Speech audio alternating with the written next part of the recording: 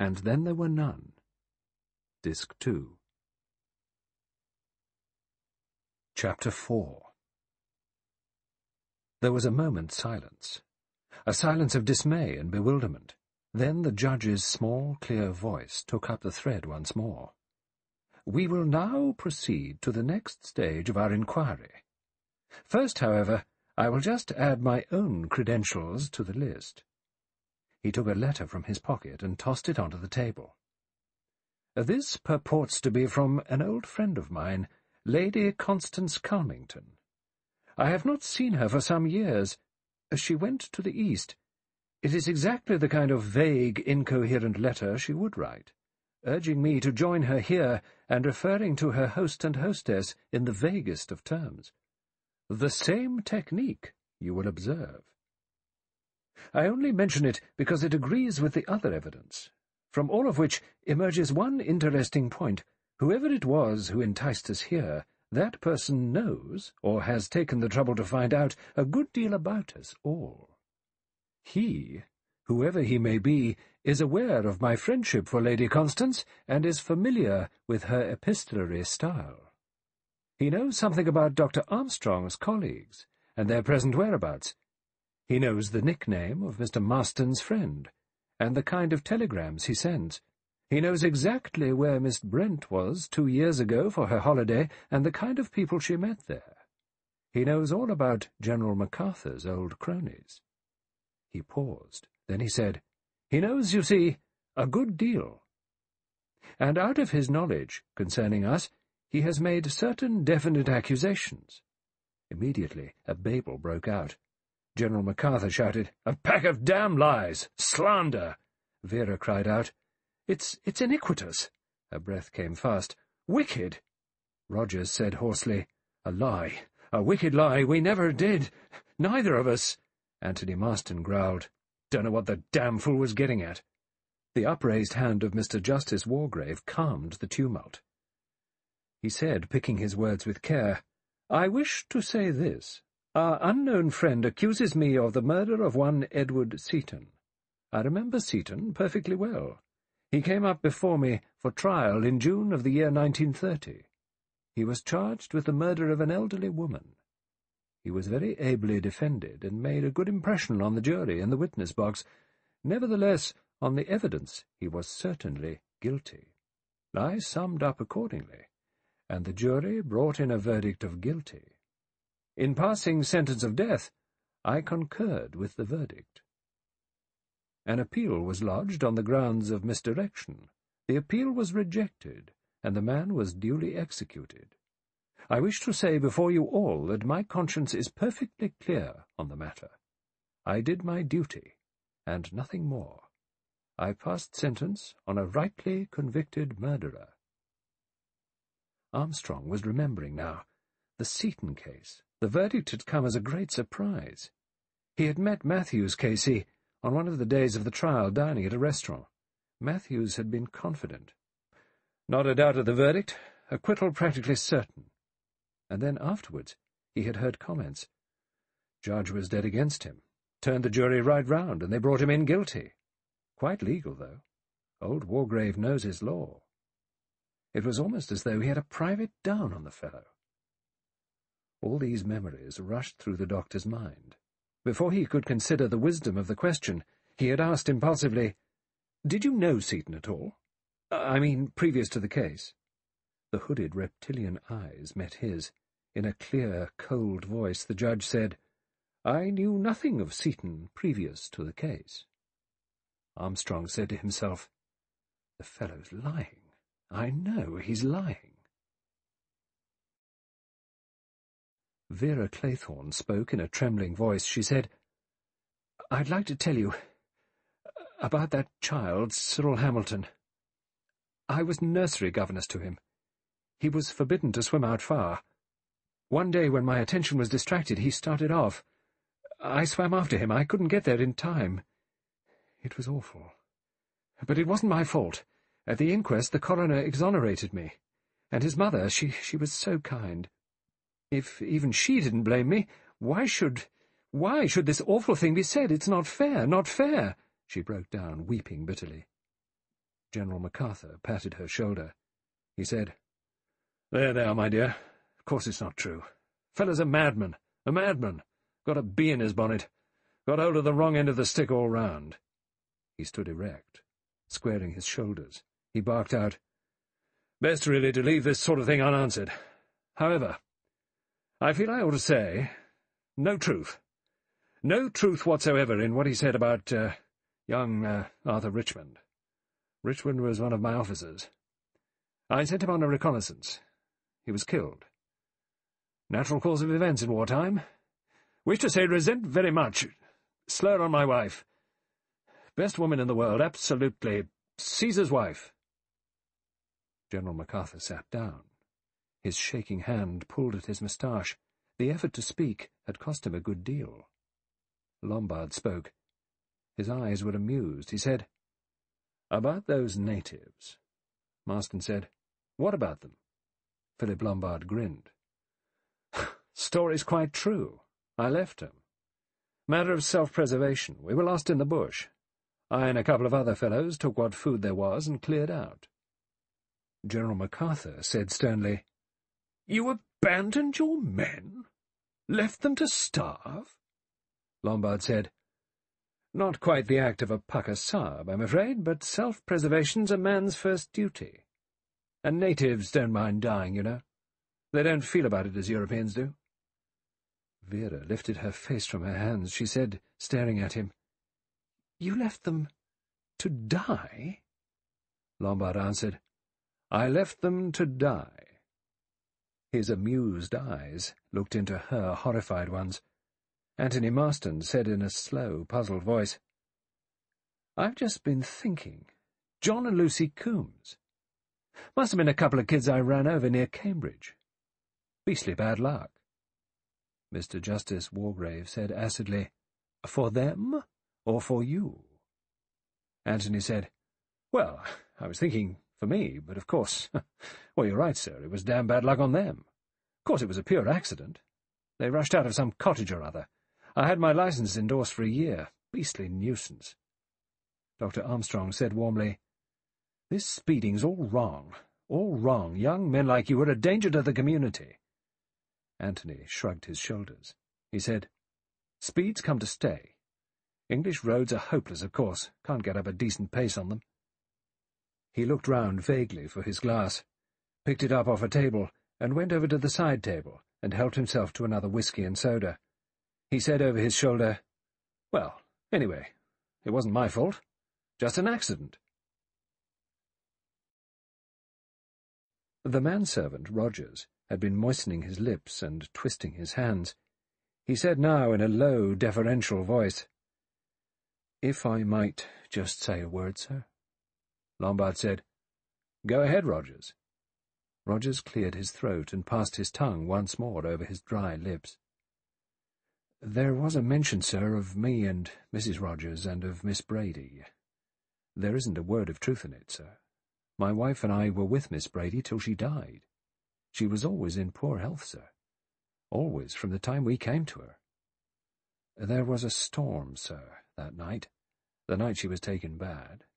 The telephone was out of order. We couldn't get the doctor to her. I went for him, sir, on foot, but he got there too late. We'd done everything possible for her. Devoted to her, we were. Anyone will tell you the same. There was never a word said against us. Not a word. Lombard looked thoughtfully at the man's twitching face, his dry lips, the fright in his eyes. He remembered the crash of the falling coffee tray. He thought, but did not say. Oh, yeah. Blore spoke. Spoke in his hearty, bullying, official manner. He said, Came into a little something at her death, though, eh? Rogers drew himself up.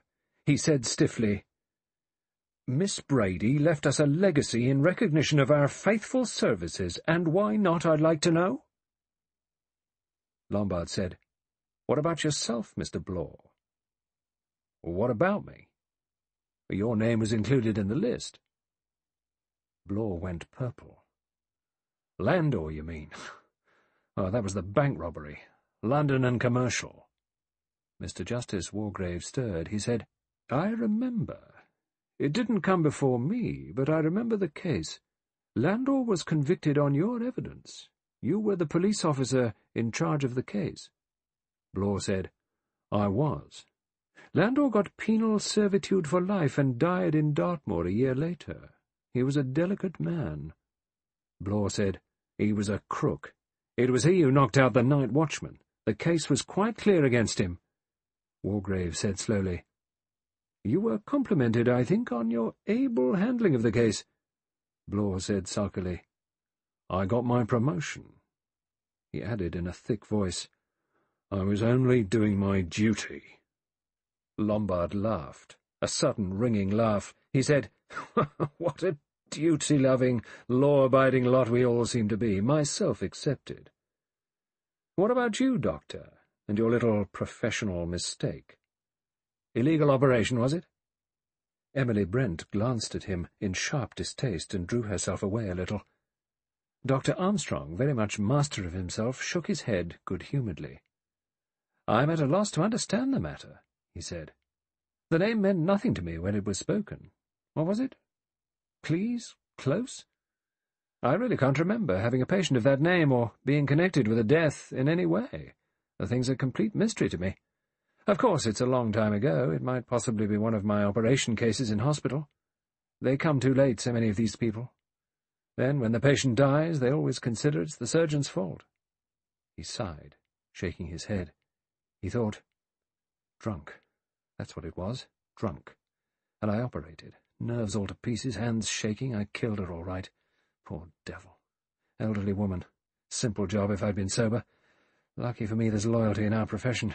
The sister knew, of course, but she held her tongue. God, it gave me a shock, pulled me up. But who could have known about it, after all these years? There was silence in the room. Everybody was looking, covertly or openly, at Emily Brent. It was a minute or two before she became aware of the expectation. Her eyebrows rose on her narrow forehead. She said, Are you waiting for me to say something? I have nothing to say. The judge said, Nothing, Miss Brent? Nothing. Her lips closed tightly. The judge stroked his face. He said mildly, You reserve your defence. Miss Brent said coldly, There is no question of defence. I have always acted in accordance with the dictates of my conscience. I have nothing with which to reproach myself. There was an unsatisfied feeling in the air, but Emily Brent was not one to be swayed by public opinion. She sat unyielding. The judge cleared his throat once or twice, then he said, Our inquiry rests there. Now, Rogers, who else is there on this island besides ourselves and you and your wife? Nobody, sir. Nobody at all. You're sure of that? Quite sure, sir. Wargrave said, I am not yet clear as to the purpose of our unknown host in getting us to assemble here, but in my opinion, this person, whoever he may be, is not sane in the accepted sense of the word. He may be dangerous. In my opinion, it would be well for us to leave this place as soon as possible. I suggest that we leave tonight. Rogers said, I beg your pardon, sir, but there's no boat on the island. No boat at all? No, sir. How do you communicate with the mainland? Fred Narracott. He comes over every morning, sir. He brings the bread and the milk and the post and takes the orders. Mr. Justice Wargrave said, then, in my opinion, it would be well if we all left tomorrow morning as soon as Narracott's boat arrives. There was a chorus of agreement, with only one dissentient voice. It was Anthony Marston, who disagreed with the majority.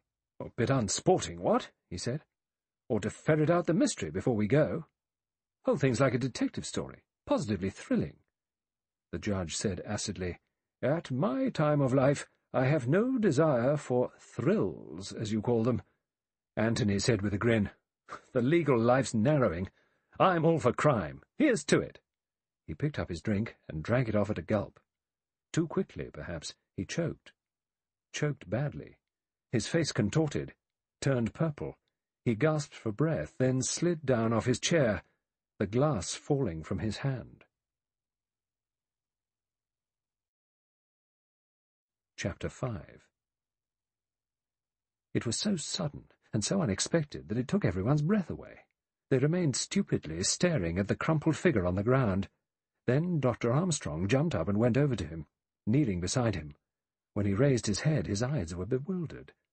He said in a low, awestruck whisper, My God! He's dead! They didn't take it in. Not at once. Dead? Dead? That young Norse god in the prime of his health and strength, struck down all in a moment? Healthy young men didn't die like that, choking over a whisky and soda. No. They couldn't take it in. Dr. Armstrong was peering into the dead man's face. He sniffed at the blue, twisted lips. Then he picked up the glass from which Anthony Marston had been drinking. General MacArthur said, Dead? Do you mean the fellow just choked and... and died? The physician said, You can call it choking if you like. He died of asphyxiation right enough. He was sniffing now at the glass. He dipped a finger into the dregs and very cautiously just touched the finger with the tip of his tongue. His expression altered. General MacArthur said, Never knew a man could die like that. Just of a choking fit? Emily Brent said in a clear voice, In the midst of life, we are in death. Dr. Armstrong stood up. He said briskly, No, a man doesn't die of a mere choking fit. Marston's death wasn't what we call a natural death. Vera said, almost in a whisper, Was there something in the whisky? Armstrong nodded. Yes, can't say exactly. Everything points to one of the cyanides. No distinctive smell of prussic acid, probably potassium cyanide. It acts pretty well instantaneously. The judge said sharply, It was in his glass? Yes. The doctor strode to the table where the drinks were. He removed the stopper from the whisky and smelt and tasted it. Then he tasted the soda water. He shook his head. They're both all right. Lombard said, You mean he must have put the stuff in his glass himself? Armstrong nodded with a curiously dissatisfied expression. He said, Seems like it. Blore said, Suicide, eh? Well, that's a queer go. Vera said slowly, You'd never think that he would kill himself. He was so alive. He was, oh, enjoying himself. When he came down the hill in his car this evening, he looked... He looked... Oh, I, I can't explain. But they knew what she meant. Anthony Marston, in the height of his youth and manhood, had seemed like a being who was immortal. And now, crumpled and broken, he lay on the floor. Dr. Armstrong said, Is there any possibility other than suicide? Slowly everyone shook his head. There could be no other explanation. The drinks themselves were untampered with. They had all seen Anthony Marston go across and help himself. It followed, therefore, that any cyanide in the drink must have been put there by Anthony Marston himself. And yet, why should Anthony Marston commit suicide? Blore said thoughtfully, You know, Doctor, it doesn't seem right to me. I shouldn't have said that Mr. Marston was a suicidal type of gentleman. Armstrong answered, I agree. They had left it like that. What else was there to say? Together, Armstrong and Lombard had carried the inert body of Anthony Marston to his bedroom and had laid him there, covered over with a sheet. When they came downstairs again, the others were standing in a group, shivering a little, though the night was not cold. Emily Brent said, We'd better go to bed. It's late. It was past twelve o'clock. The suggestion was a wise one, yet everyone hesitated. It was as though they clung to each other's company for reassurance. The judge said, Yes, we must get some sleep. Rogers said, I haven't cleared yet in the dining room. Lombard said curtly, Do it in the morning. Armstrong said to him, Is your wife all right? I'll go and see, sir. He returned a minute or two later. Sleeping beautiful, she is. Good, said the doctor. Don't disturb her. No, sir. I'll just put things straight in the dining room and make sure everything's locked up right, and then I'll turn in. He went across the hall into the dining room. The others went upstairs, a slow, unwilling procession. If this had been an old house with creaking wood and dark shadows and heavily panelled walls, there might have been an eerie feeling. But this house was the essence of modernity. There were no dark corners, no possible sliding panels. It was flooded with electric light. Everything was new and bright and shining. There was nothing hidden in this house, nothing concealed. It had no atmosphere about it. Somehow, that was the most frightening thing of all. They exchanged good nights on the upper landing. Each of them went into his or her own room, and each of them automatically, almost without conscious thought, locked the door. In his pleasant, softly tinted room, Mr. Justice Wargrave removed his garments and prepared himself for bed. He was thinking about Edward Seaton. He remembered Seaton very well, his fair hair, his blue eyes, his habit of looking you straight in the face with a pleasant air of straightforwardness. That was what had made so good an impression on the jury. Llewellyn, for the Crown, had bungled it a bit. He had been over-vehement, had tried to prove too much. Matthews, on the other hand, for the defence had been good. His points had told. His cross-examinations had been deadly. His handling of his client in the witness box had been masterly. And Seaton had come through the ordeal of cross-examination well. He had not got excited or over-vehement. The jury had been impressed. It had seemed to Matthews, perhaps, as though everything had been over bar the shouting. The judge wound up his watch carefully and placed it by the bed. He remembered exactly how he had felt sitting there, listening, making notes, appreciating everything, tabulating every scrap of evidence that told against the prisoner. He'd enjoyed that case. Matthew's final speech had been first class. Llewellyn, coming after it, had failed to remove the good impression that the defending counsel had made. And then had come his own summing up. Carefully, Mr. Justice Wargrave removed his false teeth and dropped them into a glass of water. The shrunken lips fell in. It was a cruel mouth now, cruel and predatory. Hooding his eyes, the judge smiled to himself. He'd cooked Seaton's goose all right. With a slightly rheumatic grunt, he climbed into bed and turned out the electric light. Downstairs in the dining room, Rogers stood puzzled. He was staring at the china figures in the centre of the table. He muttered to himself, Well, that's a rum go. I could have sworn there were ten of them. General MacArthur tossed from side to side. Sleep would not come to him. In the darkness, he kept seeing Arthur Richmond's face. He'd liked Arthur. He'd been damned fond of Arthur. He'd been pleased that Leslie liked him too.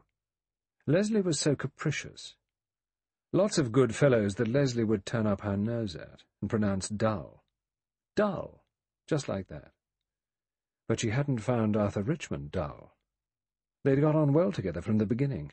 They'd talked of plays and music and pictures together. She'd teased him, made fun of him, ragged him, and he, MacArthur, had been delighted at the thought that Leslie took quite a motherly interest in the boy. Motherly, indeed. Damn fool not to remember that Richmond was twenty-eight to Leslie's twenty-nine. He'd loved Leslie. He could see her now, her heart-shaped face, and her dancing, deep grey eyes, and the brown, curling mass of her hair. He'd loved Leslie, and he'd believed in her absolutely. Out there in France, in the middle of all the hell of it, he'd sat thinking of her, taken her picture out of the breast pocket of his tunic, and then he'd found out. It had come about exactly in the way things happened in books. The letter in the wrong envelope. She'd been writing to them both, and she'd put her letter to Richmond in the envelope addressed to her husband. Even now, all these years later, he could feel the shock of it, the pain. God, it had hurt. And the business had been going on for some time. The letter made that clear. Weekends Richmond's last leave. Leslie. Leslie and Arthur. God damn the fellow! Damn his smiling face, his brisk yes, sir, liar and hypocrite, stealer of another man's wife. It had gathered slowly, that cold, murderous rage. He'd managed to carry on as usual, to show nothing. He'd tried to make his manner to Richmond just the same. Had he succeeded? He thought so. Richmond hadn't suspected. Inequalities of temper were easily accounted for out there, where men's nerves were continually snapping under the strain. Only young Armitage had looked at him curiously once or twice. Quite a young chap, but he'd had perceptions, that boy. Armitage perhaps had guessed when the time came. He'd sent Richmond deliberately to death. Only a miracle could have brought him through unhurt. That miracle didn't happen. Yes, he'd sent Richmond to his death, and he wasn't sorry. It had been easy enough. Mistakes were being made all the time, officers being sent to death needlessly. All was confusion, panic. People might say afterwards, Old MacArthur lost his nerve a bit, made some colossal blunders, sacrificed some of his best men. They couldn't say more. But young Armitage was different. He'd looked at his commanding officer very oddly. He'd known, perhaps, that Richmond was being deliberately sent to death. And after the war was over, had Armitage talked? Leslie hadn't known. Leslie had wept for her lover, he supposed, but her weeping was over by the time he'd come back to England. He'd never told her that he'd found her out. They'd gone on together. Only somehow she hadn't seemed very real any more. And then, three or four years later, she'd got double pneumonia and died. That had been a long time ago. Fifteen years? Sixteen years? And he'd left the army and come to live in Devon, bought the sort of little place he'd always meant to have. Nice neighbours, pleasant part of the world. There was a bit of shooting and fishing. He'd gone to church on Sundays, but not the day the lesson was read about David putting Uriah in the forefront of the battle. Somehow he couldn't face that. Gave him an uncomfortable feeling. Everybody had been very friendly. At first, that is. Later, he'd had an uneasy feeling that people were talking about him behind his back. They eyed him differently somehow, as though they'd heard something. Some lying rumour. Armitage? Supposing Armitage had talked. He'd avoided people after that, withdrawn into himself. Unpleasant to feel that people were discussing you. And all so long ago. So... so purposeless now. Leslie had faded into the distance, and Arthur Richmond, too. Nothing of what had happened seemed to matter any more. It made life lonely, though. He'd taken to shunning his old army friends. If Armitage had talked, they'd know about it. And now, this evening, a hidden voice had blared out that old hidden story. Had he dealt with it all right? Kept a stiff upper lip? Betrayed the right amount of feeling, indignation, disgust, but no guilt, no discomfiture? Difficult to tell. Surely, nobody could have taken the accusation seriously. There had been a pack of other nonsense, just as far-fetched. That charming girl, the voice had accused her of drowning a child. Idiotic. Some madman throwing crazy accusations about. Emily Brent, too. Actually, a niece of old Tom Brent of the regiment. It had accused her of murder. Anyone could see with half an eye that the woman was as pious as could be, the kind that was hand and glove with parsons. Damned curious business, the whole thing. Crazy, nothing less. Ever since they had got there, when was that? Why, damn it, it was only this afternoon. Seemed a good bit longer than that. He thought, I wonder when we shall get away again. Oh, tomorrow, of course, when the motorboat comes from the mainland. Funny, just this minute he didn't want much to get away from the island. To go back to the mainland, back to his little house, back to all the troubles and worries. Through the open window he could hear the waves breaking on the rocks, a little louder now than earlier in the evening. Wind was getting up, too. He thought, peaceful sound. Peaceful place. He thought, best of an island is, once you get there, you can't go any further. You've come to the end of things. He knew, suddenly, that he didn't want to leave the island. Vera Claythorne lay in bed, wide awake, staring up at the ceiling. The light beside her was on. She was frightened of the dark. She was thinking, Hugo, Hugo, why do I feel you're so near me tonight? Somewhere quite close. Where is he really? I don't know. I never shall know. He just went away, right away, out of my life. It was no good trying not to think of Hugo. He was close to her. She had to think of him, to remember. Cornwall. The black rocks, the smooth yellow sand, Mrs. Hamilton, stout, good-humoured, Cyril, whining a little, always pulling at her hand. I want to swim out to the rock, Miss Claythorne. Why can't I swim out to the rock? Looking up, meeting Hugo's eyes watching her. The evenings, after Cyril was in bed. Come out for a stroll, Miss Claythorne. I think perhaps I will. The decorous stroll down to the beach, the moonlight, the soft Atlantic air, and then Hugo's arms around her. I love you. I love you. You know I love you, Vera. Yes, she knew. Or thought she knew. I can't ask you to marry me. I've not got a penny. It's all I can do to keep myself. Queer, you know. Once, for three months, I had the chance of being a rich man to look forward to. Cyril wasn't born until three months after Maurice died. If he'd been a girl... If the child had been a girl, Hugo would have come into everything. He'd been disappointed, he admitted. I hadn't built on it, of course, but it was a bit of a knock. Oh, well, luck's luck. Cyril's a nice kid. I'm awfully fond of him. And he was fond of him, too. Always ready to play games or amuse his small nephew. No rancour in Hugo's nature. Cyril wasn't really strong, a, puny child. No stamina. The kind of child, perhaps, who wouldn't live to grow up. And then... Miss Claythorne, why can't I swim to the rock? Irritating, whiny repetition. It's too far, Cyril. But Miss Claythorne... Vera got up. She went to the dressing table and swallowed three aspirins. She thought, I wish I had some proper sleeping stuff. She thought, if I were doing away with myself, I'd take an overdose of Veronal, something like that, not cyanide. She shuddered as she remembered Anthony Marston's convulsed purple face. As she passed the mantelpiece, she looked up at the framed doggerel. Ten little Indian boys went out to dine. One choked his little self, and then there were nine. She thought to herself, It's horrible, just like us this evening. Why had Anthony Marston wanted to die? She didn't want to die. She couldn't imagine wanting to die. Death was for the other people. Chapter 6 Dr. Armstrong was dreaming. It was very hot in the operating room. Surely they'd got the temperature too high. The sweat was rolling down his face, his hands were clammy, difficult to hold the scalpel firmly. How beautifully sharp it was.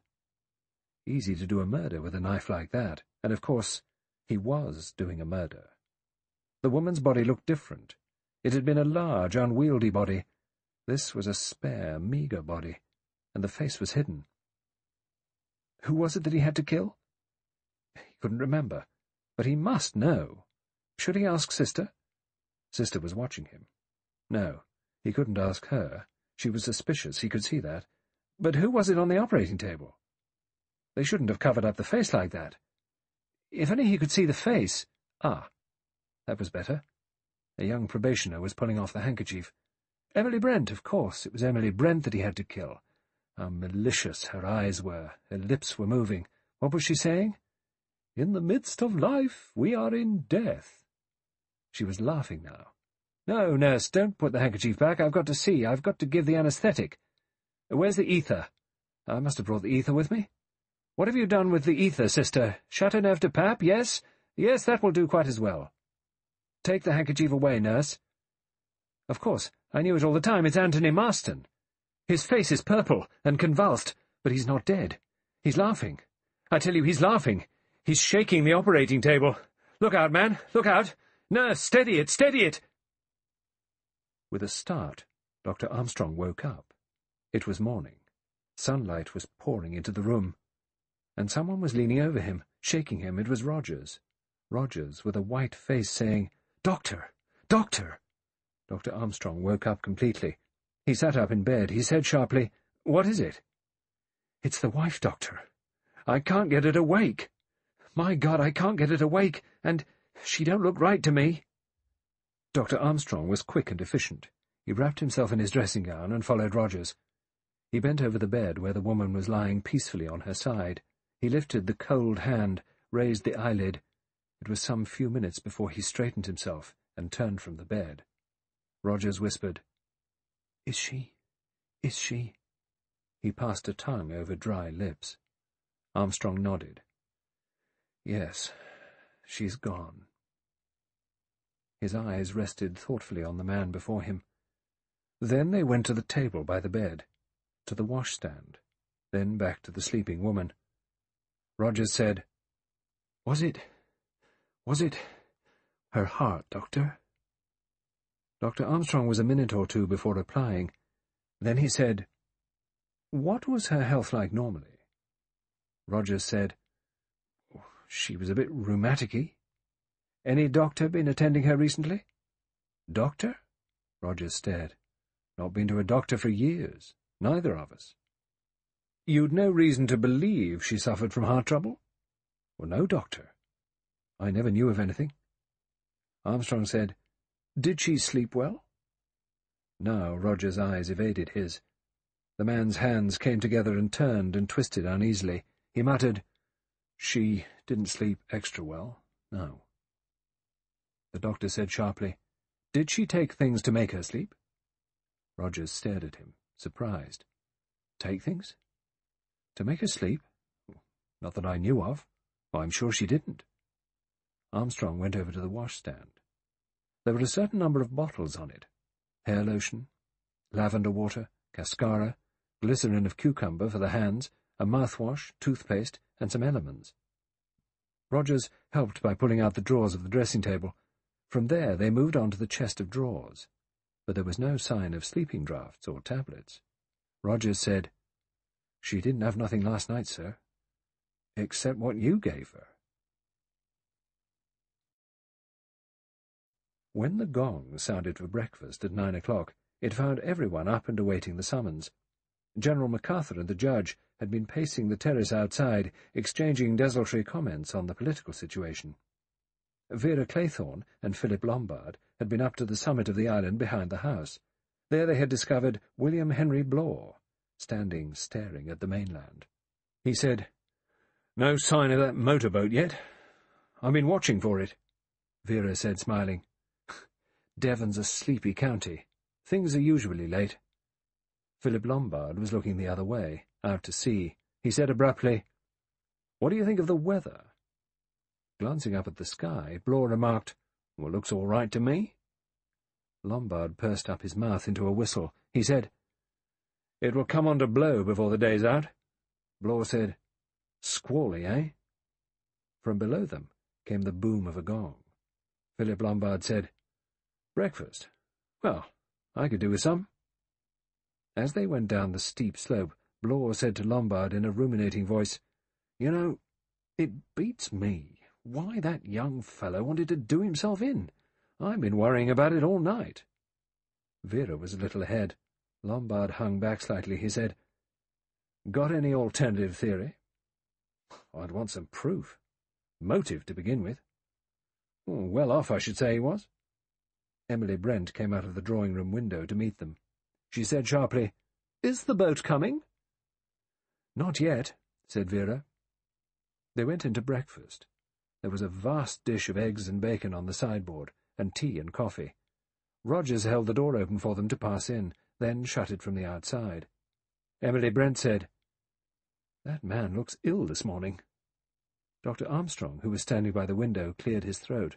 He said, You must excuse any uh, shortcomings this morning. Rogers has had to do the best he can for breakfast single-handed. Mrs. Rogers has, uh, not been able to carry on this morning. Emily Brent said sharply, What's the matter with the woman? Dr. Armstrong said easily, Let's start our breakfast. The eggs will be cold. Afterwards there are several matters I want to discuss with you all. They took the hint. Plates were filled, coffee and tea was poured, the meal began. Discussion of the island was, by mutual consent, tabooed. They spoke instead, in a desultory fashion, of current events, the news from abroad, events in the world of sport, the latest reappearance of the Loch Ness Monster. Then, when plates were cleared, Dr. Armstrong moved back his chair a little, cleared his throat importantly, and spoke. He said, I thought it better to wait until you had had your breakfast before telling you of a sad piece of news. Mrs. Rogers died in her sleep.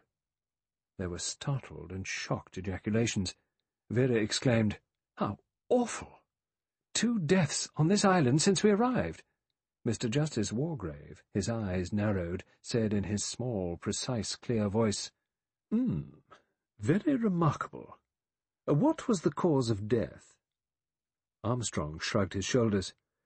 Impossible to say offhand. There must be an autopsy?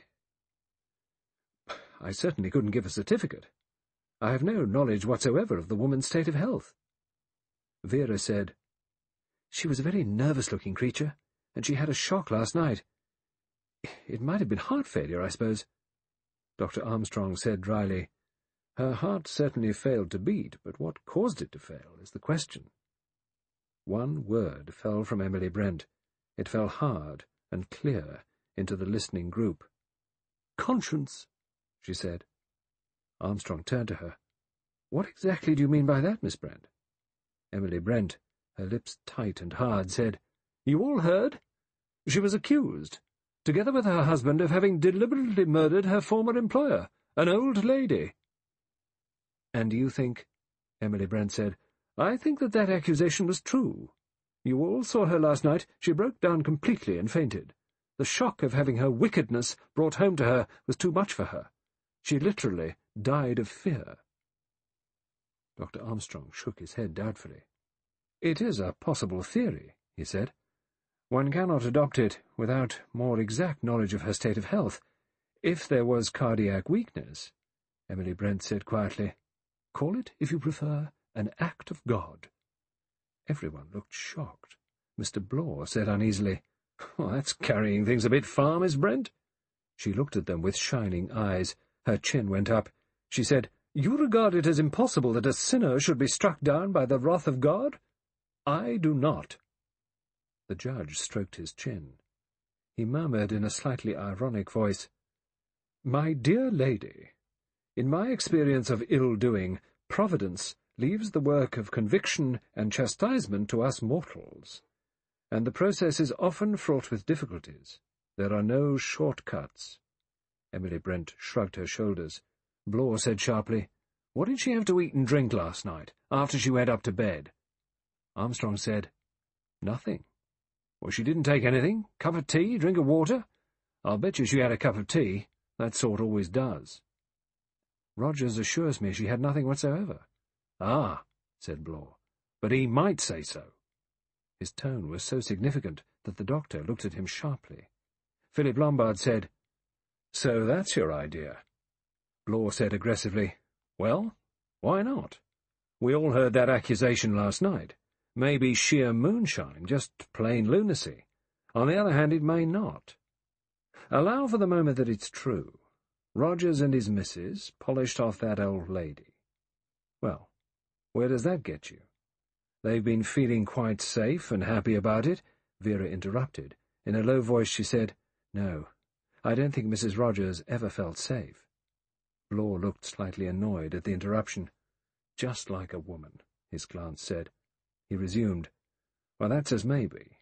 Anyway, there's no active danger to them as far as they know. Then, last night, some unknown lunatic spills the beans. What happens? The woman cracks. She goes to pieces. Notice how her husband hung over her as she was coming round? Not all husbandly solicitude. Not on your life. He was like a cat on hot bricks, scared out of his life as to what she might say. And there's the position for you. They've done a murder and got away with it. But if the whole thing's going to be raked up, what's going to happen? Ten to one, the woman will give the show away. She hasn't got the nerve to stand up and brazen it out. She's a living danger to her husband, that's what she is. He's all right. He'll lie with a straight face till kingdom comes. But he can't be sure of her, and if she goes to pieces, his neck's in danger. So, he slips something into a cup of tea and makes sure that her mouth is shut permanently. Armstrong said slowly, There was no empty cup by her bedside. There was nothing there at all. I looked. Blore snorted. well, of course there wouldn't be. First thing he'd do, when she drunk it, would be take that cup and saucer away and wash it up carefully. There was a pause. Then General MacArthur said doubtfully, Well, it may be so, but I should hardly think it possible that a man would do that to his wife. Blore gave a short laugh. He said, When a man's neck's in danger, he doesn't stop to think too much about sentiment. There was a pause. Before anyone could speak, the door opened, and Rogers came in. He said, looking from one to the other, Is there anything more I can get you? I'm sorry there was so little toast, but we've run right out of bread. The new bread hasn't come over from the mainland yet. Mr. Justice Wargrave stirred a little in his chair. He asked, At what time does the motorboat usually come over? Uh, between seven and eight, sir. Sometimes it's a bit after eight. Don't know what Fred Narracott can be doing this morning. If he's ill, he'd send his brother. Philip Lombard said, What's the time now? Ten minutes to ten, sir. Lombard's eyebrows rose. He nodded slowly to himself. Rogers waited a minute or two. General MacArthur spoke suddenly and explosively. Uh, sorry to hear about your wife, Rogers. Doctor's just been telling us. Rogers inclined his head. Yes, sir. Thank you, sir. He took up the empty bacon dish and went out. Again there was silence. On the terrace outside, Philip Lombard said, About this motorboat. Blore looked at him. Blore nodded his head. He said, I know what you're thinking, Mr. Lombard. I've asked myself the same question. Motorboat ought to have been here nigh on two hours ago. It hasn't come. Why? Found the answer? asked Lombard. It's not an accident. That's what I say. It's part and parcel of the whole business. It's all bound up together. Philip Lombard said, It won't come, you think? A voice spoke behind him, a testy, impatient voice. The motorboat's not coming, he said. Blore turned his square shoulder slightly and viewed the last speaker thoughtfully. You think not too, General? General MacArthur said sharply, Well, of course it won't come. We're counting on the motorboat to take us off the island. That's the meaning of the whole business. We're not going to leave the island. None of us will ever leave. It's the end, you see. The end of everything. He hesitated. Then he said in a low, strange voice, that's peace. Real peace. To come to the end. Not to have to go on. Yes. Peace. He turned abruptly and walked away. Along the terrace, then down the slope towards the sea, obliquely, to the end of the island, where loose rocks went out into the water. He walked a little unsteadily, like a man who was only half awake. Blore said, there goes another one who's balmy. Looks as though it'll end with the whole lot going that way. Philip Lombard said, I don't fancy you will, Blore. The ex-inspector laughed. It'll take a lot to send me off my head, he added dryly. And I don't think you'll be going that way either, Mr. Lombard. Philip Lombard said, I feel quite sane at the minute, thank you. Dr. Armstrong came out onto the terrace. He stood there hesitating. To his left were Blore and Lombard. To his right was Wargrave, slowly pacing up and down, his head bent down. Armstrong, after a moment of indecision, turned towards the latter. But at that moment Rogers came quickly out of the house. "'Can I have a word with you, sir, please?' Armstrong turned. He was startled at what he saw. Roger's face was working. Its colour was greyish-green. His hands shook. It was such a contrast to his restraint of a few minutes ago that Armstrong was quite taken aback. Please, sir, if I could have a word with you. Inside, sir. The doctor turned back and re-entered the house with the frenzied butler. He said, What's the matter, man? Pull yourself together. In here, sir. Come, in here. He opened the dining-room door. The doctor passed in. Rogers followed him and shut the door behind him. Well, said Armstrong, what is it? The muscles of Roger's throat were working. He was swallowing. He jerked out, There's things going on, sir, that I don't understand. Armstrong said sharply, Things? What things? You'll think I'm crazy, sir. You'll say it isn't anything, but it's got to be explained, sir. It's got to be explained, because it doesn't make any sense. Well, man, tell me what it is. Don't go on talking in riddles. Rogers swallowed again. He said, It's those little figures, sir, in the middle of the table. The little china figures. Ten of them there were, I'll swear to that. Ten of them. Armstrong said, Yes, ten. We counted them last night at dinner. Rogers came nearer. But that's just it, sir. Last night, when I was clearing up, there wasn't but nine, sir. I noticed it and thought it queer, but that's all I thought. And now, sir, this morning, I didn't notice when I laid the breakfast, I was upset and all that. But now, sir, when I came to clear away, see for yourself if you don't believe me. There's only eight, sir. Only eight. It doesn't make sense, does it? Only eight. Chapter 7 After breakfast, Emily Brent had suggested to Vera Claythorne that they should walk up to the summit again and watch for the boat. Vera had acquiesced. The wind had freshened. Small white crests were appearing on the sea.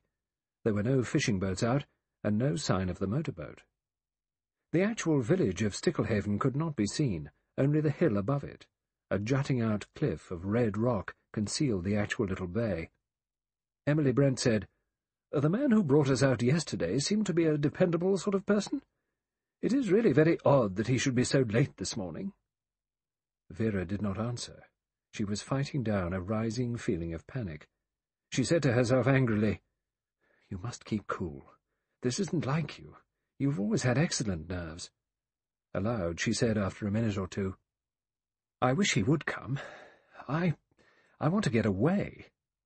Emily Brent said dryly, I've no doubt we all do. Vera said, It's all so extraordinary. There seems no... no meaning in it all. The elderly woman beside her said briskly, I'm very annoyed with myself for being so easily taken in. Really, that letter is absurd when one comes to examine it, but I had no doubts at the time, none at all. Vera murmured mechanically, I suppose not. One takes things for granted too much, said Emily Brent. Vera drew a deep, shuddering breath. She said, Do you really think what you said at breakfast? Be a little more precise, my dear. To what in particular are you referring? Vera said in a low voice, Do you really think that Rogers and his wife did away with that old lady? Emily Brent gazed thoughtfully out to sea. Then she said, Personally, I am quite sure of it. But what do you think? I don't know what to think. Emily Brent said, Everything goes to support the idea. The way the woman fainted, and the man dropped the coffee tray, remember. Then the way he spoke about it. It... it didn't ring true. Oh, yes. I'm afraid they did it. Vera said, The way she looked, scared of her own shadow. I've never seen a woman look so frightened.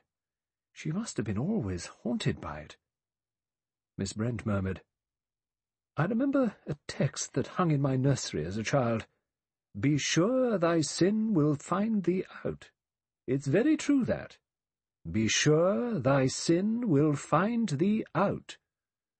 Vera scrambled to her feet. She said, But, Miss Brent, Miss Brent, in that case— Yes, my dear? The others? What about the others? I don't quite understand you. All the other accusations. They... they weren't true. But if it's true about the Rogerses— She stopped, unable to make her chaotic thought clear. Emily Brent's brow, which had been frowning perplexedly, cleared. She said, Ah, I understand you now. Well, there is that Mr. Lombard. He admits to having abandoned twenty men to their deaths. Vera said, Well, they were only natives. Emily Brent said sharply. Black or white, they are our brothers. Vera thought, Our black brothers. Our black brothers. Oh, I'm going to laugh. I'm hysterical. I'm not myself. Emily Brent continued thoughtfully. Of course, some of the other accusations were very far-fetched and ridiculous, against the judge, for instance, who was only doing his duty in his public capacity, and the ex-Scotland Yard man. My own case, too. She paused, and then went on. Naturally, considering the circumstances, I was not going to say anything last night. It was not a fit subject to discuss before gentlemen. No? Vera listened with interest. Miss Brent continued serenely. Beatrice Taylor was in service with me. Not a nice girl as I found out too late. I was very much deceived in her. She had nice manners and was very clean and willing. I was very pleased with her. Of course, all that was the sheerest hypocrisy. She was a loose girl with no morals. Disgusting. It was some time before I found out she was what they call in trouble. She paused, her delicate nose wrinkling itself in distaste. It was a great shock to me. Her parents were decent folk, too, who had brought her up very strictly. I am glad to say they did not condone her behaviour. Vera said, staring at Miss Brent. What happened? Naturally, I did not keep her an hour under my roof. No one shall ever say that I condoned immorality. Vera said in a lower voice, What happened to her? Miss Brent said, The abandoned creature, not content with having one sin on her conscience, committed a still graver sin. She took her own life. Vera whispered horror-struck. She killed herself? Yes. She threw herself into the river. Vera shivered. She stared at the calm, delicate profile of Miss Brent. She said, What did you feel like when you knew she'd done that? Weren't you sorry? Didn't you blame yourself? Emily Brent drew herself up. I? I had nothing with which to reproach myself. Vera said. But if your hardness drove her to it, Emily Brent said sharply, her own action, her own sin, that was what drove her to it. If she had behaved like a decent, modest young woman, none of this would have happened. She turned her face to Vera. There was no self-reproach, no uneasiness in those eyes. They were hard and self-righteous. Emily Brent sat on the summit of Indian Island, encased in her own armour of virtue. The little elderly spinster was no longer slightly ridiculous to Vera. Suddenly, she was terrible. Dr. Armstrong came out of the dining room and once more came out on the terrace. The judge was sitting in a chair now, gazing placidly out to sea. Lombard and Blore were over to the left, smoking but not talking. As before, the doctor hesitated for a moment, his eye rested speculatively on Mr. Justice Wargrave. He wanted to consult with someone. He was conscious of the judge's acute, logical brain, but nevertheless he wavered. Mr. Justice Wargrave might have a good brain, but he was an elderly man. At this juncture, Armstrong felt what was needed was a man of action. He made up his mind. Lombard, can I speak to you for a minute? Philip started. Well, of course. The two men left the terrace. They strolled down the slope towards the water. When they were out of earshot, Armstrong said, I want a consultation. Lombard's eyebrows went up. He said, My dear fellow, I've no medical knowledge. No, no. I mean as to the general situation. Oh, well, that's different. Armstrong said, Frankly, what do you think of the position? Lombard reflected a minute. Then he said, it's rather suggestive, isn't it? What are your ideas on the subject of that woman? Do you accept Blore's theory? Philip puffed smoke into the air. He said, Well, it's perfectly feasible, taken alone. Exactly. Armstrong's tone sounded relieved. Philip Lombard was no fool. The latter went on. That is, accepting the premise that Mr. and Mrs. Rogers have successfully got away with murder in their time, and I don't see why they shouldn't. What do you think they did exactly? Poisoned the old lady? Armstrong said slowly, It might be simpler than that. I asked Rogers this morning what this Miss Brady had suffered from. His answer was enlightening. I don't need to go into medical details, but in a certain form of cardiac trouble, amyl nitrate is used. When an attack comes on, an ampule of amyl nitrate is broken, and it is inhaled. If amyl nitrate were withheld, well, the consequences might easily be fatal. Philip Lombard said thoughtfully, As simple as that? Well, it must have been rather tempting. The doctor nodded. Yes, no positive action, no arsenic to obtain and administer, nothing definite, just negation. And Rogers hurried through the night to fetch a doctor, and they both felt confident that no one could ever know. And even if anyone knew, nothing could ever be proved against them, added Philip Lombard. He frowned suddenly. Of course. That explains a good deal. Armstrong said, puzzled, I beg your pardon? Lombard said, Well, I mean, it explains Indian Island. There are crimes that cannot be brought home to their perpetrators. Instance, the Rogerses. Another instance, old Wargrave, who committed his murder strictly within the law. Armstrong said sharply, Would you believe that story? Philip Lombard smiled. Oh, yes. I believe it. Wargrave murdered Edward Seaton, all right. Murdered him as surely as if he'd stuck a stiletto through him. But he was clever enough to do it from the judge's seat in wig and gown. So, in the ordinary way, you can't bring his little crime home to him. A sudden flash passed like lightning through Armstrong's mind. Murder in hospital, Murder on the operating table? Safe. Yes. Safe as houses. Philip Lombard was saying, Hence, Mr. Owen. Hence, Indian Island. Armstrong drew a deep breath. Now we're getting down to it. What's the real purpose of getting us all here? Philip Lombard said, What do you think? Armstrong said abruptly, Let's go back a minute to this woman's death. What are the possible theories?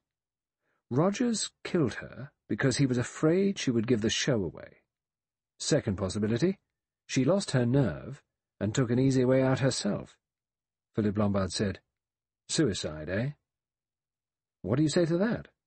Lombard said, Well, it could have been, yes. If it hadn't been for Marston's death. Two suicides within twelve hours is a little too much to swallow. And if you tell me that Anthony Marston, a young bull with no nerves and precious little brains, got the wind up over having mowed down a couple of kids and deliberately put himself out of the way, well, the idea's laughable.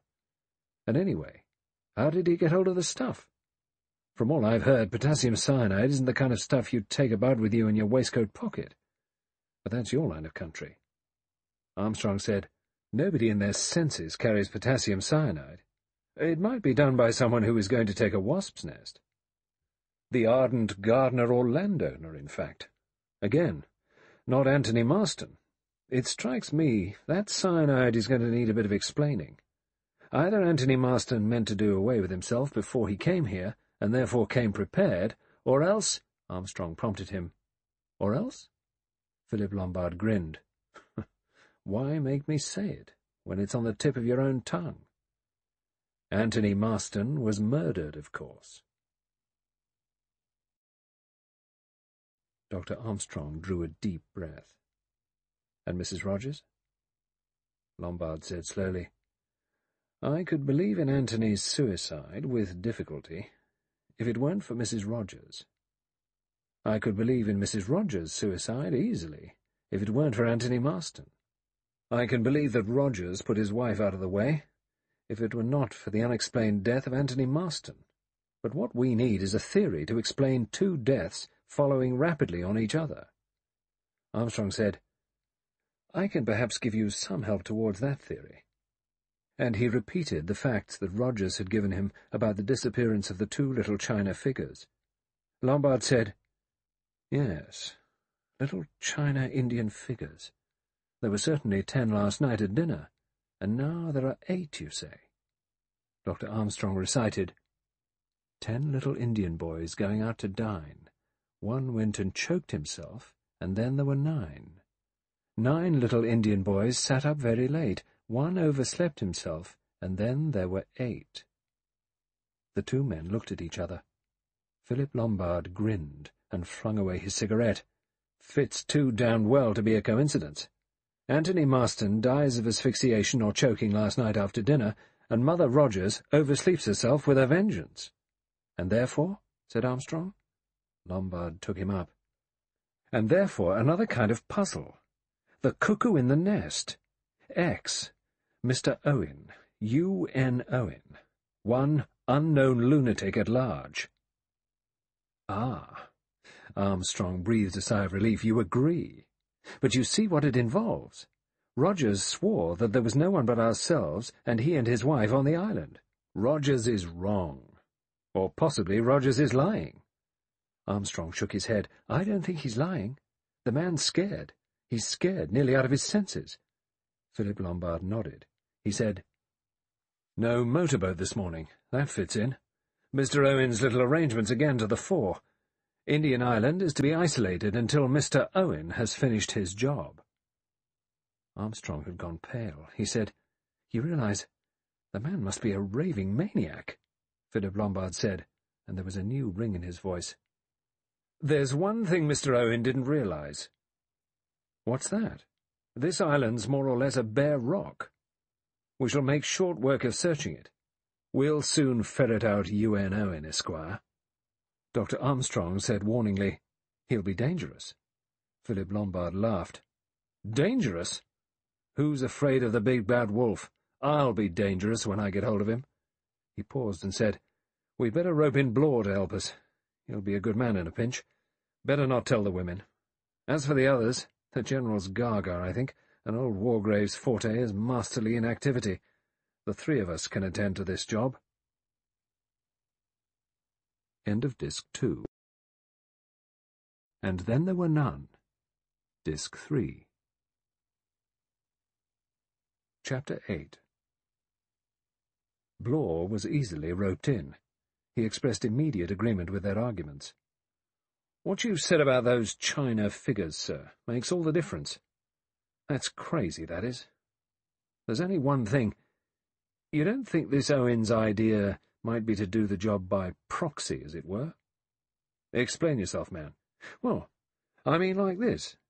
After the racket last night, this young Mr. Marston gets the wind up and poisons himself. And Rogers, he gets the wind up too and bumps off his wife, all according to UNO's plan. Armstrong shook his head. He stressed the point about the cyanide. Blore agreed. Yes, I'd forgotten that. Not a natural thing to be carrying about with you. But how did it get into his drink, sir? Lombard said. I've been thinking about that. Marston had several drinks that night. Between the time he had his last one and the time he finished the one before it, there was quite a gap. During that time, his glass was lying about on some table or other. I think, though I can't be sure, it was on the little table near the window. The window was open. Someone could have slipped a dose of cyanide into the glass. Blore said unbelievingly, Without all our seeing him, sir? Lombard said dryly, We were all rather concerned elsewhere. Armstrong said slowly, That's true. We'd all been attacked. We were walking about, moving about the room, arguing, indignant, intent on our own business. I think it could have been done. Blore shrugged his shoulders. Fact is, it must have been done. Now then, gentlemen, let's make a start. Nobody's got a revolver by any chance? I suppose that's too much to hope for. Lombard said, I've got one. He patted his pocket. Blore's eyes opened very wide. He said in an over-casual tone, Always carry that about with you, sir? Lombard said, Usually. I've been in some tight places, you know. Oh, said Blore, and added, Well, you've probably never been in a tighter place than you are today. If there's a lunatic hiding on this island, he's probably got a young arsenal on him, to say nothing of a knife or a dagger or two. Armstrong coughed. You may be wrong there, Blore. Many homicidal lunatics are very quiet, unassuming people. Delightful fellows. Blore said, I don't feel this one is going to be of that kind, Dr. Armstrong. The three men started on their tour of the island. It proved unexpectedly simple. On the northwest side, towards the coast, the cliffs fell sheer to the sea below, their surface unbroken. On the rest of the island there were no trees and very little cover. The three men worked carefully and methodically, beating up and down from the highest point to the water's edge, narrowly scanning the least irregularity in the rock which might point to the entrance to a cave. But there were no caves. They came at last, skirting the water's edge, to where General MacArthur sat looking out to sea. It was very peaceful here, with the lap of the waves breaking over the rocks. The old man sat very upright, his eyes fixed on the horizon. He paid no attention to the approach of the searchers. His oblivion of them made one, at least, faintly uncomfortable. Blore thought to himself, "It isn't natural. Looks as though he'd gone into a trance or something." He cleared his throat and said in a would-be conversational tone, "A nice peaceful spot you found for yourself, sir?" The General frowned. He cast a quick look over his shoulder. He said, "There's so little time. So little time. I, I really must insist that no one disturbs me." Blore said genially, "We won't disturb you. We're just making a tour of the island, so to speak. Just wondered, you know, if uh, someone might be hiding on it." The General frowned and said, "You don't understand. You don't understand at all. Please go away." Blore retreated. He said as he joined the other two, He's crazy. It's no good talking to him. Lombard asked with some curiosity, What did he say? Blore shrugged his shoulders. Something about there being no time and that he didn't want to be disturbed. Dr. Armstrong frowned. He murmured, I wonder now. The search of the island was practically completed. The three men stood on the highest point looking over towards the mainland. There were no boats out. The wind was freshening. Lombard said, No fishing boats out. There's a storm coming. Damn nuisance, you can't see the village from here. We could signal or do something. Blore said, We might light a bonfire tonight. Lombard said, frowning, The devil of it is, that's all probably been provided for. In what way, sir? Well, how do I know?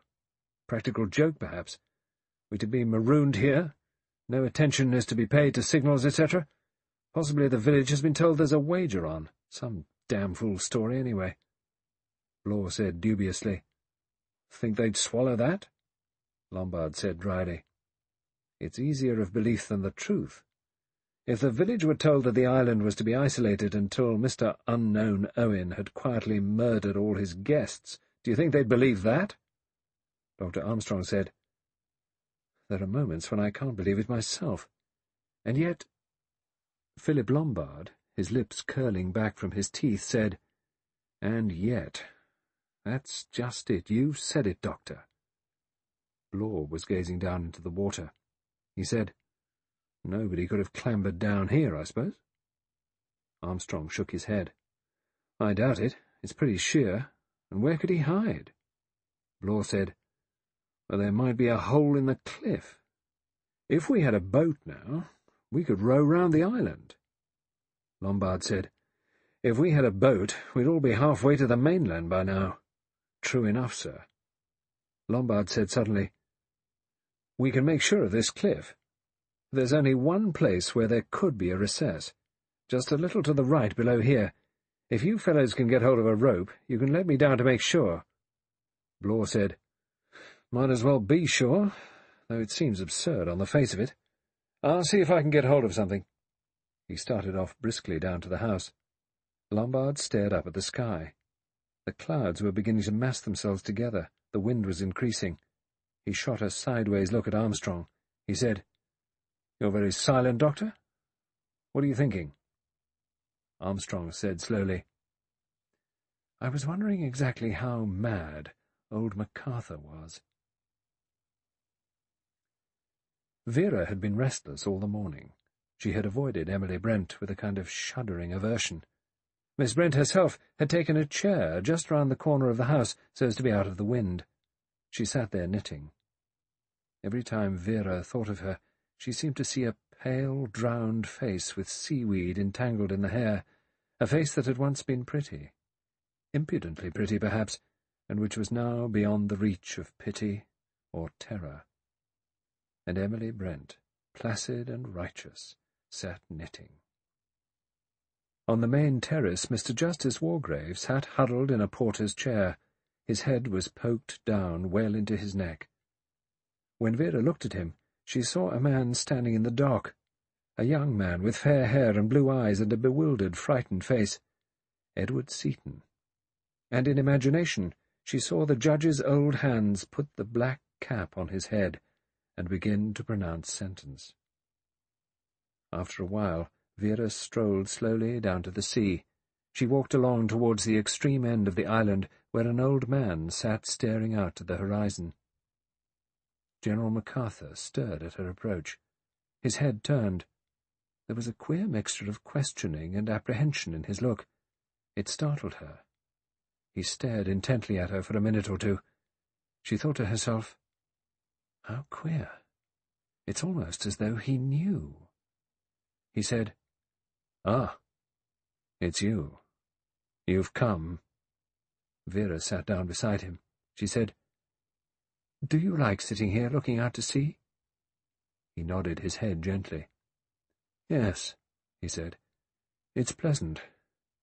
It's a good place, I think, to wait. To wait? said Vera sharply. What are you waiting for? He said gently, The end. But I think you know that, don't you? It's true, isn't it? We're all waiting for the end. She said unsteadily, What do you mean? General MacArthur said gravely. None of us are going to leave the island. That's the plan. You know it, of course, perfectly. What perhaps you can't understand is the relief. Vera said wonderingly, The relief? He said, Yes, of course. You're very young, you haven't got to that yet, but it does come the blessed relief when you know that you've done with it all, that you haven't got to carry the burden any longer. You'll feel that too some day. Vera said hoarsely, I don't understand you. Her fingers worked spasmodically. She felt suddenly afraid of this quiet old soldier. He said musingly, You see, I loved Leslie. I loved her very much. Vera said questioningly. Was Leslie your wife? Yes, my wife. I loved her, and I was very proud of her. She was so pretty, and so gay. He was silent for a minute or two. Then he said, Yes, I loved Leslie. That's why I did it. Vera said, You mean, and paused. General MacArthur nodded his head gently. It's not much good denying it now. Not when we're all going to die. I sent Richmond to his death. I suppose in a way it was murder. Curious. Murder. And I've always been such a law-abiding man. But it didn't seem like that at the time. I had no regrets. Serves him damn well right, that's what I thought. But afterwards... In a hard voice, Vera said, Well, afterwards? He shook his head vaguely. He looked puzzled and a little distressed. Uh, I don't know. I don't know. It was all different, you see. I don't know if Leslie ever, ever guessed. I don't think so. But you see, I didn't know about her any more. She'd gone far away where I couldn't reach her. And then she died, and I was alone. Vera said, Alone, alone, and the echo of her voice came back to her from the rocks. General MacArthur said, You'll be glad too, when the end comes. Vera got up. She said sharply, I don't know what you mean. He said, I know, my child, I know. You don't. You don't understand at all. General MacArthur looked out to sea again. He seemed unconscious of her presence behind him. He said very gently and softly, Leslie?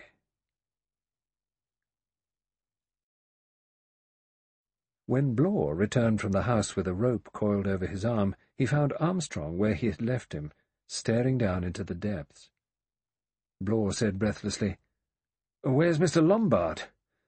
Armstrong said carelessly, Gone to test some theory or other. He'll be back in a minute. Look here, Blore, I'm worried. I should say we were all worried. The doctor waved an impatient hand. Of course, of course, I don't mean it that way. I'm thinking of old MacArthur. What about him, sir? Dr. Armstrong said grimly, What we're looking for is a madman. What price MacArthur? Blore said incredulously, What, you mean he's homicidal? Armstrong said doubtfully, Why, I shouldn't have said so, not for a minute, but of course I'm not a specialist in mental diseases. I haven't really had any conversation with him. I haven't studied him from that point of view. Blore said doubtfully, Gaga, yes, but I wouldn't have said— Armstrong cut in with a slight effort, as of a man who pulls himself together. You're probably right. Damn it all, there must be someone hiding on the island. Ah, here comes Lombard. They fastened the rope carefully. Lombard said, I'll help myself all I can. Keep a lookout for a sudden strain on the rope. After a minute or two, while they stood together watching Lombard's progress, Blore said, Climbs like a cat, doesn't he? There was something odd in his voice. Dr. Armstrong said, I should think he must have done some mountaineering in his time. Maybe. There was a silence, and the ex-inspector said, Funny sort of cove altogether. Do you know what I think? What? He's a wrong un. Armstrong said doubtfully, In what way? Blore grunted. Then he said, Oh, I don't know exactly, but I wouldn't trust him a yard. Dr. Armstrong said, I suppose he's led an adventurous life. Blore said, yeah, I bet some of his adventures have had to be kept pretty dark. He paused and then went on. Did you happen to bring a revolver along with you, Doctor? Armstrong stared. Me? Good Lord, no. Why should I? Blore said, Why did Mr. Lombard?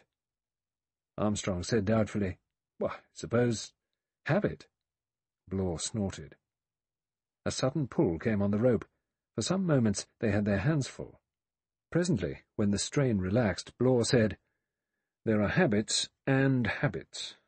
Mr. Lombard takes a revolver to out-of-the-way places right enough, and a primus, and a sleeping bag, and a supply of bug powder, no doubt. But habit wouldn't make him bring the whole outfit down here. It's only in books people carry revolvers around as a matter of course. Dr. Armstrong shook his head perplexedly. They leaned over and watched Lombard's progress. His search was thorough, and they could see at once that it was futile. Presently he came up over the edge of the cliff. He wiped the perspiration from his forehead. Well, he said, we're up against it. It's the house or nowhere. The house was easily searched. They went through the few outbuildings first, and then turned their attention to the building itself. Mrs. Rogers' yard measure, discovered in the kitchen dresser, assisted them. But there were no hidden spaces left unaccounted for. Everything was plain and straightforward. A modern structure devoid of concealments. They went through the ground floor first. As they mounted to the bedroom floor, they saw through the landing window Rogers carrying out a tray of cocktails to the terrace. Philip Lombard said lightly, Wonderful animal, the good servant, carries on with an impassive countenance. Armstrong said appreciatively, Rogers is a first-class butler, I'll say that for him. Blore said, His wife was a pretty good cook, too. That dinner last night. They turned into the first bedroom. Five minutes later, they faced each other on the landing. No one hiding, no possible hiding place. Blore said, Oh, there's a little stair here. Dr. Armstrong said, it leads up to the servants' room. Blore said, There must be a place under the roof, a cisterns, water tank, etc. It's the best chance, and the only one. And it was then, as they stood there, that they heard the sound from above, a soft, furtive footfall overhead. They all heard it. Armstrong grasped Blore's arm. Lombard held up an admonitory finger. Quiet. Listen. It came again. Someone moving softly, furtively overhead. Armstrong whispered, He's actually in the bedroom itself, the room where Mrs. Rogers' body is. Blore whispered back, Of course, best hiding place he could have chosen. Nobody likely to go there. Now then, quiet as you can. They crept stealthily upstairs. On the little landing outside the door of the bedroom, they paused again. Yes, someone was in the room. There was a faint creak from within. Blore whispered, Now! He flung open the door and rushed in, the other two close behind him. Then all three stopped dead. Rogers was in the room, his hands full of garments. Blore recovered himself first. He said, uh, Sorry, uh, Rogers. Heard someone moving about in here and thought, uh, well... He stopped. Rogers said, oh, I'm sorry, gentlemen. I was just moving my things. I take it there will be no objection if I take one of the vacant guest chambers on the floor below? Uh, the smallest room? It was to Armstrong that he spoke, and Armstrong replied, Of course, of course. Get on with it. He avoided looking at the sheeted figure lying on the bed. Rogers said, Thank you, sir. He went out of the room with his arm full of belongings and went down the stairs to the floor below. Armstrong moved over to the bed and, lifting the sheet, looked down on the peaceful face of the dead woman.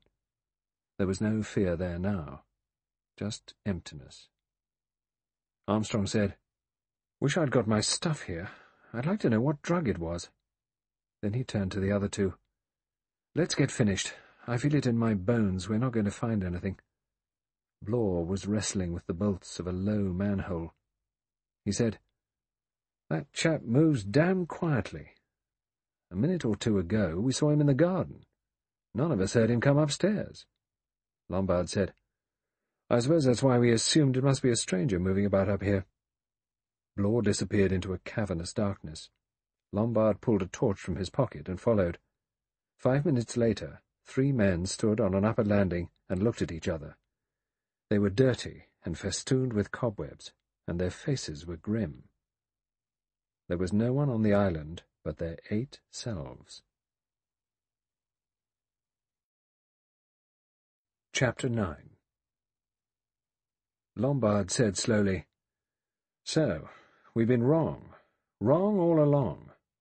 Built up a nightmare of superstition and fantasy, all because of the coincidence of two deaths. Armstrong said gravely, And yet, you know, the argument holds. Hang it all, I'm a doctor. I know something about suicides. Anthony Marston wasn't a suicidal type. Lombard said doubtfully. It couldn't, I suppose, have been an accident. Blore snorted, unconvinced. Damn queer sort of accident, he grunted. There was a pause. Then Blore said, About the woman, and stopped. Mrs. Rogers? Yes. It's possible, isn't it, that that might have been an accident? Philip Lombard said. An accident? In what way? Blore looked slightly embarrassed. His red brick face grew a little deeper in hue. He said, almost blurting out the words, Look here, Doctor. You did give her some dope, you know. Armstrong stared at him. Dope? What do you mean? Well, last night. You said yourself you'd given her something to make her sleep. Oh, that, yes. A harmless sedative. What was it exactly? I gave her a mild dose of Trional. Perfectly harmless preparation. Blore grew redder still. He said, Look here, not to mince matters, you didn't give her an overdose, did you? Dr. Armstrong said angrily, I don't know what you mean. Blore said, It's possible, isn't it, that you may have made a mistake. These things do happen once in a while. Armstrong said sharply, I did nothing of the sort. The suggestion is ridiculous. He stopped and added in a cold, biting tone, Or do you suggest that I gave her an overdose on purpose? Philip Lombard said quickly, Look here, you two. Got to keep our heads. Don't let's start slinging accusations about. Blore said sullenly. I only suggested the doctor had made a mistake. Dr. Armstrong smiled with an effort. He said, showing his teeth in a somewhat mirthless smile, Doctors can't afford to make mistakes of that kind, my friend. Blore said deliberately, It wouldn't be the first you've made, if that gramophone record is to be believed. Armstrong went white. Philip Lombard said quickly and angrily to Blore, What's the sense of making yourself offensive? We're all in the same boat. We've got to pull together. What about your own pretty little spot of perjury? Blore took a step forward, his hands clenched. He said in a thick voice, Perjury be damned! That's a foul lie! You may try and shut me up, Mr. Lombard, but there's things I want to know, and one of them is about you. Lombard's eyebrows rose. About me? Yes. I want to know why you brought a revolver down here on a pleasant social visit. Lombard said, You do, do you? Yes, I do, Mr. Lombard. Lombard said unexpectedly, You know, Blore, you're not nearly such a fool as you look. That's as may be. What about that revolver? Lombard smiled. I brought it because I expected to run into a spot of trouble. Blore said suspiciously. You didn't tell us that last night. Lombard shook his head. You were holding out on us, Blore persisted. In a way, yes, said Lombard. Well, come on. Out with it. Lombard said slowly. I allowed you all to think that I was asked here in the same way as most of the others. That's not quite true. As a matter of fact, I was approached by a solicitor. Morris, his name was. He offered me a hundred guineas to come down here and keep my eyes open. Said I'd got a reputation for being a good man in a tight place. Well? Blore prompted impatiently. Lombard said with a grin, That's all. Dr. Armstrong said, But surely he told you more than that. Oh, no, he didn't. Just shut up like a clam. I could take it or leave it. Those were his words. I was hard up. I took it. Blore looked unconvinced. He said, why didn't you tell us all this last night? My dear man, Lombard shrugged eloquent shoulders. How was I to know that last night wasn't exactly the eventuality I was here to cope with?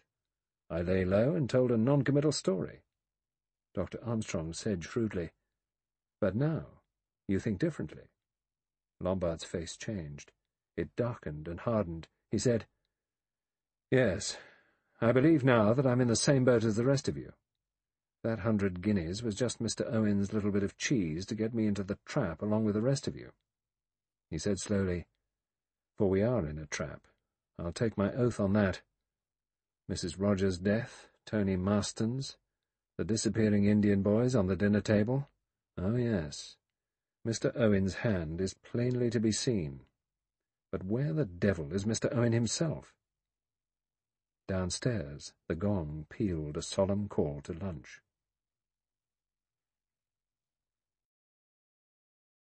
Rogers was standing by the dining-room door. As the three men descended the stairs, he moved a step or two forward. He said in a low, anxious voice, I hope lunch will be satisfactory. There is cold ham and cold tongue. I've boiled some potatoes, and there's cheese and biscuits and some tinned fruits. Lombard said, Sounds all right. Stores are holding out, then? Oh, there is plenty of food, sir, of a tin variety. The larder is very well stocked, a necessity that, I should say, sir, on an island where one may be cut off from the mainland for a considerable period. Lombard nodded. Rogers murmured as he followed the three men into the dining-room. It worries me that Fred Narracott hasn't been over today. It's peculiarly unfortunate, as you might say. Yes, said Lombard. Peculiarly unfortunate describes it very well. Miss Brent came into the room. She had just dropped a ball of wool and was carefully rewinding the end of it.